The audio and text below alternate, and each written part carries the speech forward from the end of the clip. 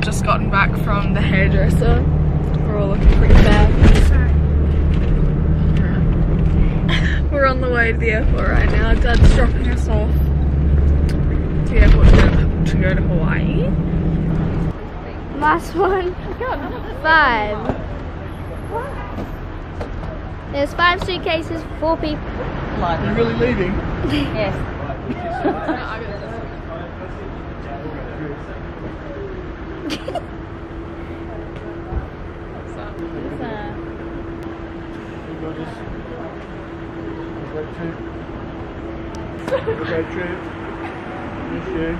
Alright, see you guys. Love yous all. Bye. Line up. Bye. Bye. Bye. Yeah, it will. Love you guys. Have fun.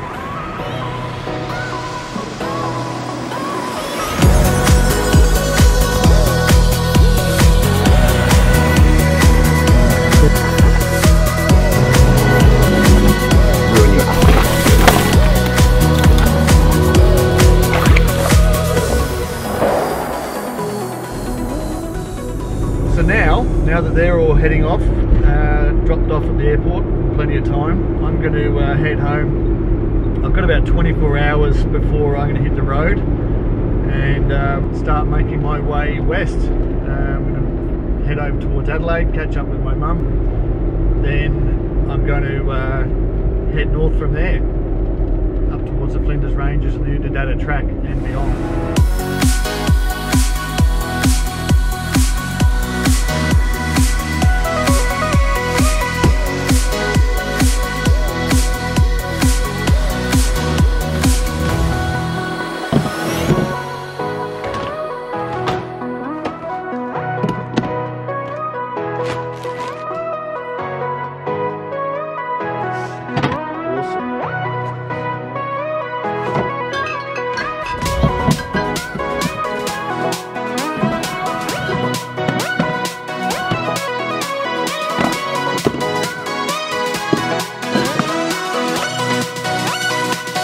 Heading into South Australia today, which means I can't take any fruit and veggies over the border.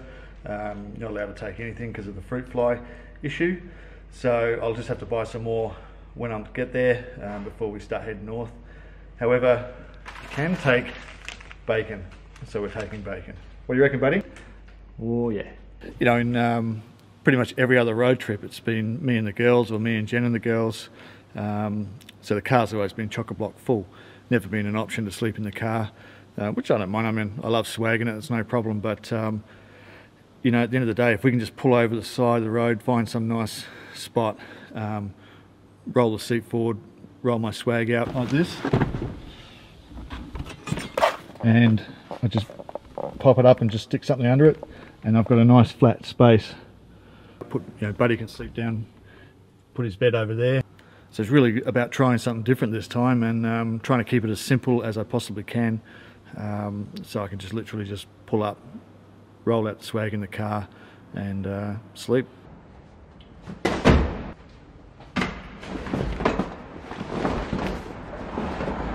So these tubs here, which I uh, borrowed from Australia Post, they actually come in really handy for uh, packing for trips like this.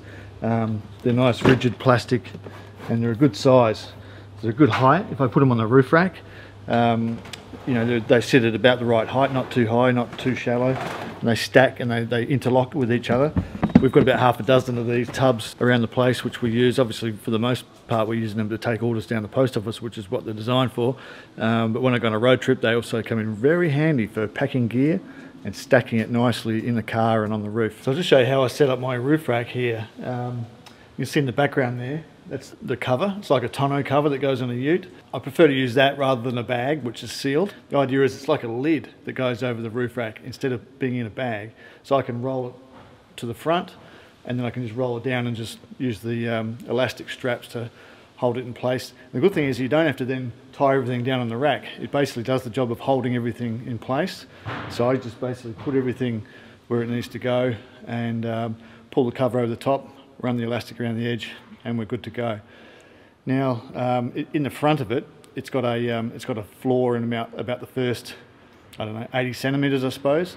So any rain coming towards us, if we're driving into the rain, um, doesn't get up up under the front, but the rest of it from there back is actually um, just open on the bottom. And I use these mesh mats here, and because they're uh, because they're mesh, they actually um, let everything breathe. Uh, no water comes up underneath because there's just no situation where water's going up under the roof rack. So the floor, having a sealed floor is kind of redundant if you ask me, except for the front where you want to, want to keep that rain out from uh, when you're driving into the rain. The good thing is though is if you if you're packing up camp and it's raining, which happens sometimes, if you've got a bag on the roof, you've got to put all the wet stuff into the bag. When the bag's open, it's getting water in it. Then you've got to seal it all up, and you end up with a bag full of wet stuff. Then you go in the, you know out in the sun, and you end up with this big steamy, hot mess in this bag, and uh, it's really inviting mold and rot and things like that. In this situation, as you're driving along, the air comes and circulates up around under the roof rack, um, through the mesh, around everything that's on there, and it basically dries everything out. And so you can pack the roof rack up on a rainy day. Um, everything can be wet when you're loading it up. Uh, I mean, try and avoid it, of course, but sometimes you can't help it. Um, you drive all day, you arrive at your camp, and everything's dry. And I've tested it, you know, a dozen times, and it's it, it works very well. So I had that tonneau cover custom made by just a company that does the, the um, tarps on the side of trucks and, and things like that. Uh, cost me about four or five hundred bucks seven or eight years ago, and uh, it's been absolutely brilliant. It's been all over the country with us many times, and other than replace elastic, it's it's like brand new.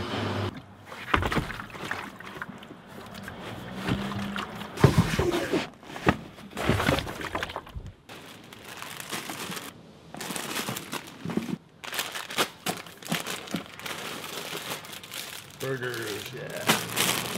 So I want these two to be on the bottom because they're the heavier ones and um, so you can't fill them too far because the the one that goes on top sits inside it.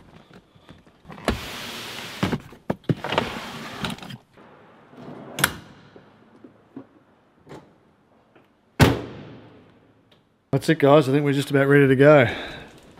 Hey, you coming? You gonna come too? Or you want to stay here? Hmm? What do you want to do? There you go, up you get. Up, come on. Come on, up. Up. Up. You can do it. Come on. Good boy. Alright, shall we go? Shall we do this? Ready for some adventure? Just you and me?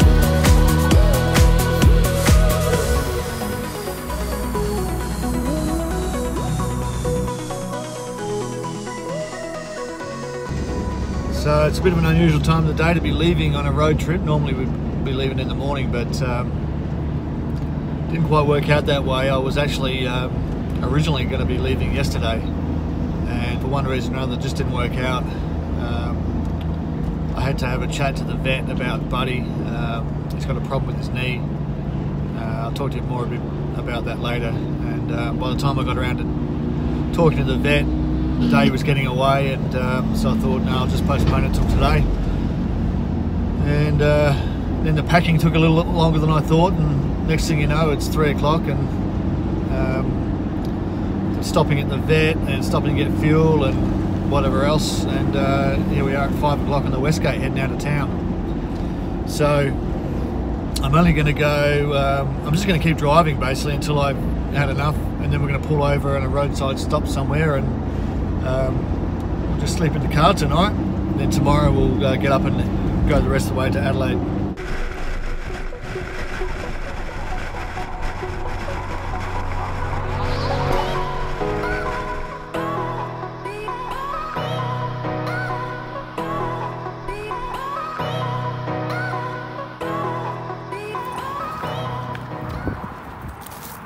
So this is the McDonald's uh, Roadhouse servo at the land, which is about an hour, about an hour out of Melbourne. Pretty, um, pretty usual stop for us. Generally, it's uh, breakfast or uh, lunch that we're stopping here, not dinner. But anyway, that's all right.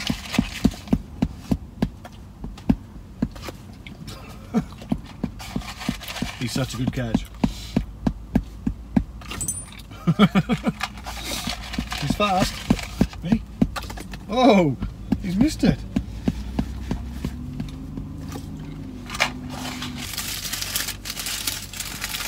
I bought Buddy a burger. This is his dinner. Do you like burgers? Yeah? How much do you like them? Pretty good? Oh, look at all that.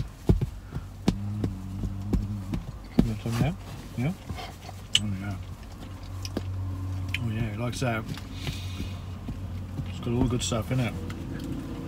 He doesn't chew anything, just swallows it. If you've ever seen Dalmatians eat before, the moment they see and think about food, they start drooling. And they're dripping all over the place here.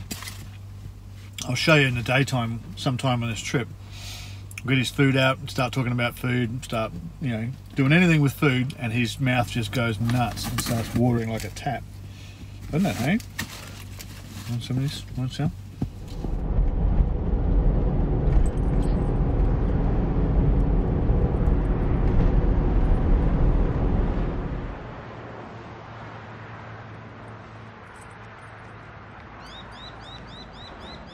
Well, good morning, guys. Here we are uh, Bordertown. We made it as far as Bordertown, uh, not actually the town, the border. We're actually on the border at the uh, little rest stop on the border, pulled up right on top of it. So uh, pretty much rained all night and um, had trucks driving past fairly steadily, but uh, otherwise it was fine. I Suppose we should tear ourselves out of bed, hey buddy? What do you reckon, hey?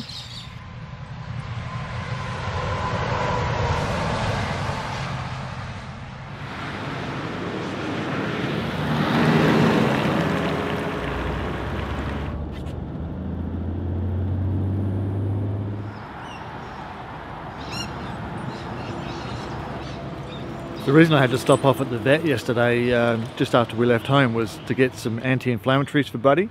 He's actually got a um, an ACL ligament, an an anterior cruciate ligament issue in his back left knee, and um, it's like he's injured it. And because we've got a lot of stairs at home, we think that um, it's the running because he runs down the stairs whenever somebody rings the doorbell or he hears something outside. He runs down the stairs and barks and carries on. And because we've got uh, wooden floors, the, they're hard floors and he's bouncing down, he's sort of jumping down the stairs and landing pretty hard. We think that that's what's actually ruptured his ligament. And about four or five weeks ago, he just started limping um, quite seriously. And um, so we gave it a couple of weeks and didn't really get better. Um, took him to the vet. The vet sort of poked and prodded and said, "Yeah, it looks like his ACL has uh, gone," which is apparently pretty common for dogs, especially larger dogs. He's not a massive dog, but he's kind of a you know, he's not small either, and, and the larger they are, the more likely they are to have the problem. And um, so he said, give it a give it a few more weeks, see what happens. Sometimes it, the, these things just heal themselves. Other other times they need surgery.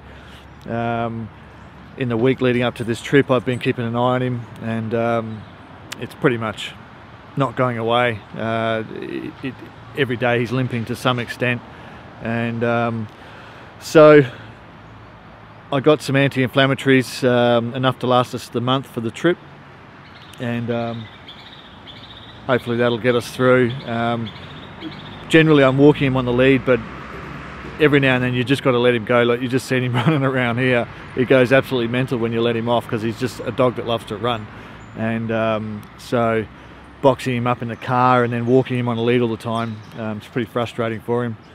Um, so good- this is a good spot since the, the, the ground's nice and soft because of the rain. Look at him. he's going in the water if he's not careful.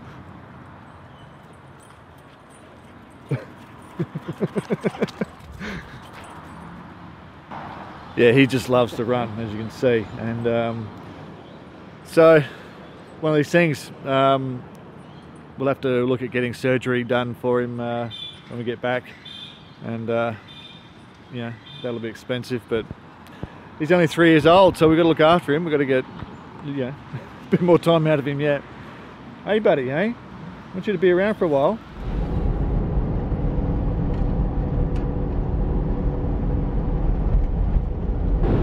One of the things I want to do while I'm here in Adelaide, I'm only going to be here till tomorrow, is make a like a wind foil for the front of the roof rack.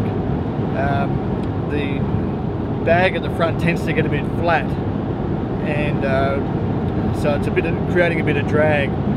So I'm hoping I've got some scrap sheet metal uh, lying around. I think I have I've got some in the garage. I'll have a look when I get there.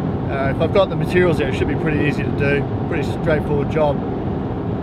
Just try and um, create a bit more aerodynamics at the front of the car. The, the headwind driving over this time has just been relentless, and um, it's made. I reckon it's a good 20% more fuel I've used. Um, this time than what I would normally. It's a pretty dramatic difference. I mean, once we get north out of Adelaide, the wind will calm down anyway, but uh, still, everything I can do to save fuel is going to be a good thing. It's a old day in Woodside today.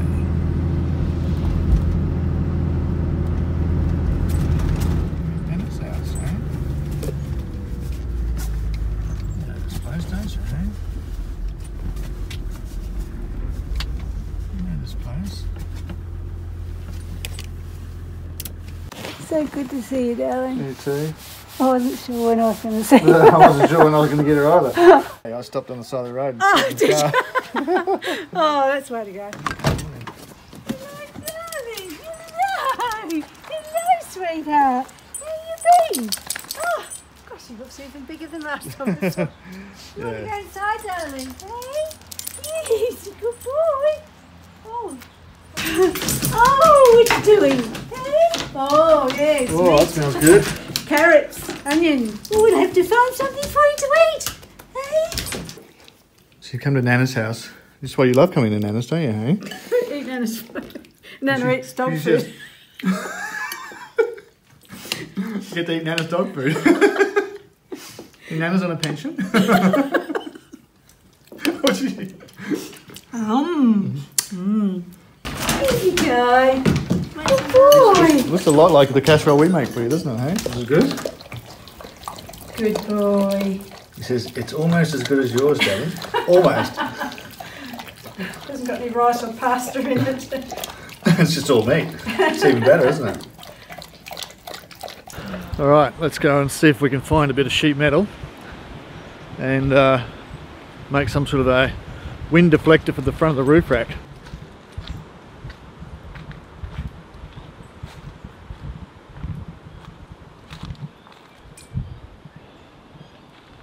No, nothing there.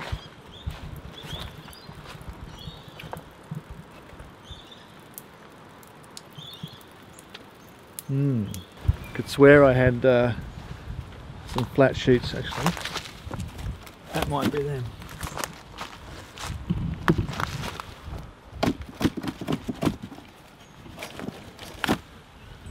See if I can get one of those out.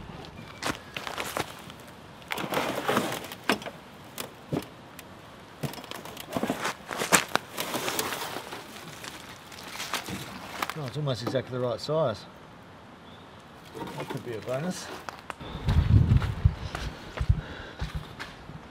Of course, it starts to rain the moment I go out there. So I found that in the scrap. We did a massive clean-up of the garage in here and all around the whole block um, last year, and um, put all the scrap metal that we found, the old swing set and stuff like that. We put all in a pile there, and rang up the local uh, recycling place to come and pick it up. And they said, yeah, yeah, we'll come and pick it up. We'll bring a skip. And they never came, so it's all still there. So I'll give it a clean up and uh, we'll measure it up. The idea is that if I put that plate on here, come up to about there. I can make a much smoother front on the rack there and um, hopefully more aerodynamic. Look at that. Literally couldn't have made it any better. That's unbelievable. that just doesn't happen. Nothing ever works that right the first time. Alright, time to give this a really good thorough clean and give it a black paint.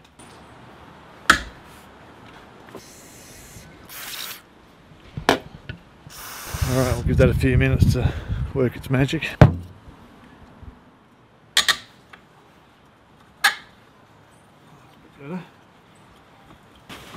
Right guys, there's not a lot of light in here because there's no power in this garage at the moment. So we're just making do with a bit of crappy daylight through the window. So the goal is going to be to uh, paint it. Oh, actually I'll clean it with terps. Then I'll drill the holes. And I'll give another bit of a wipe down. And then we'll paint it.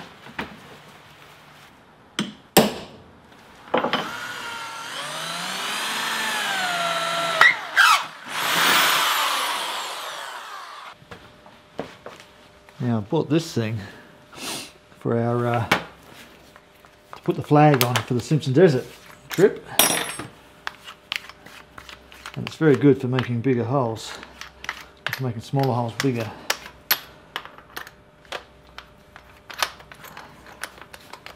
Let's give it a whirl, eh?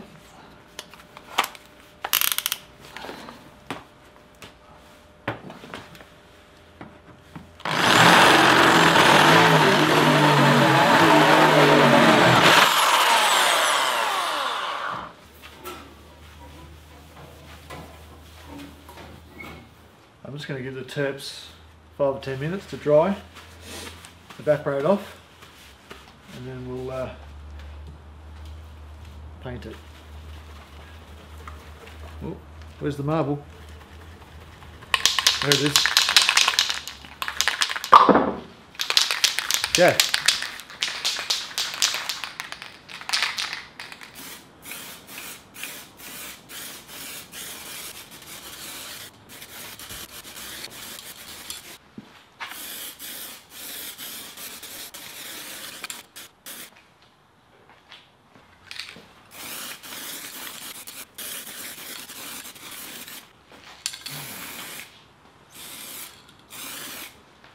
Well, that's a good start. I'm going to give it maybe uh, half an hour, let that dry, and then I'll give it a couple more coats, and then I'll let it dry overnight, and uh, we'll be all good. All right, guys, it's the next morning. Uh, let's go and check out the paint and see if it's dry. Um, of course, it's going to be dry, but let's go and have a look. All right, there we go. Look at that. Nice matte finish. All right, looks pretty good, eh? So we'll go and stick it on the car and see how it looks.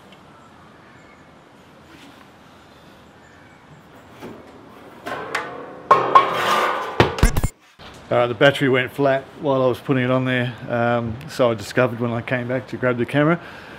But it all fitted, the uh, screw holes and everything lined up, and uh, looks good.